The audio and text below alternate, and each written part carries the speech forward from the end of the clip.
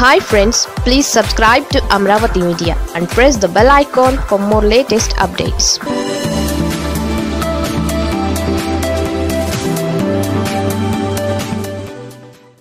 ID కార్డులు ఉండాల్సిందే. Amaravati పాదయాత్రపై high court తీర్పు. హైకోర్టులో ఆంధ్రప్రదేశ్ ప్రభుత్వానికి గట్టి ఎదురు దెబ్బ తగిలింది.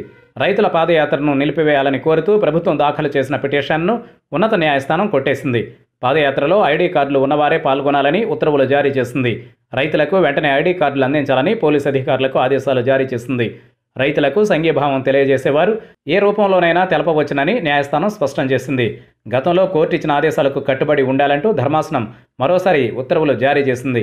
అసెంబ్లీ టు అరసవెల్లి పేరుతో అరసవెల్లిలోని శ్రీ సూర్యనారాయణ స్వామి దేవస్థానం వరకు అమరావతి రైతులు సెప్టెంబర్ పన్నెండవ తేదీన పాదయాత్రను ప్రారంభించారు. ఏకైక రాజధానిగా అమరావతినే ఉంచాలనేది వీరి ప్రధాన డిమాండ్.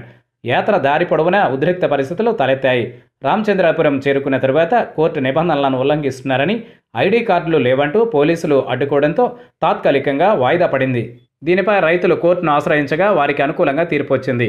పాదయాత్రలో పాల్గొనే రైతులందరికీ వెంటనే ఐడి కార్డులు ఇవ్వాలంటూ పోలీస్ అధికారులను న్యాయస్థానం ఆదేశించింది.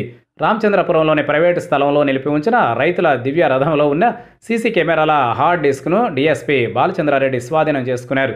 ఇంతవరకు దానిని కోర్టులో సబ్మిట్ చేయకపోవడంతో దీనిపై కూడా రైతులు న్యాయస్థానాన్ని ఆశ్రయించారు.